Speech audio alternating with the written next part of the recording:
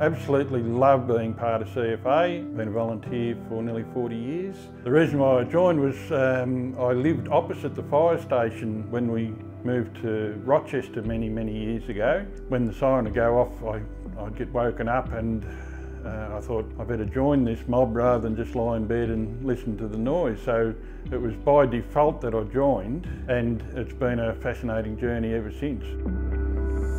Euroa no different to anywhere else in Victoria, looking at a, a quite a, a, busy season coming up. We've had prolific growth um, in the grassland. In the Strathbogie ranges, um, there's fuel reduction works undertaken there annually uh, to reduce the risk. I came down to Anglesea 25 years ago and it was always expected that the local DELP person became a member of the brigade. That's how I joined as a vol. Here, you know, in Anglesea, there's 2,000 people, 20 odd thousand in summer, but they depend on us. I don't want to let them down. They have so much trust in us. I joined uh, CFA when I was the age of 16 out at Boronia Fire Brigade. Uh, when I was about 20, I transferred across to Bayswater Fire Brigade. It's very rewarding. It's like an extended family.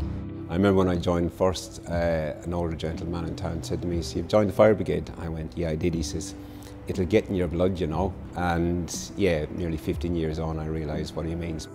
We do as an organisation 40,000 calls a year, so that every one of those calls could be everything from a rubbish bin fire to you know, a major, major bushfire that could last for you know, some weeks. In my view, Victorians rely on CFA and should have every confidence in CFA's ability to continue to provide that service. I think all we do, whether you're a volunteer or career, is just make sure that we're ready for that moment. And when we train properly, prepare properly, take it seriously, look out for each other, then when we get tested, like we will, that some little community somewhere is going to get tested this summer, that we stand up. It, it doesn't matter what the incident might be, it doesn't matter what time of the day or night, doesn't matter what the weather is doing, we are ready.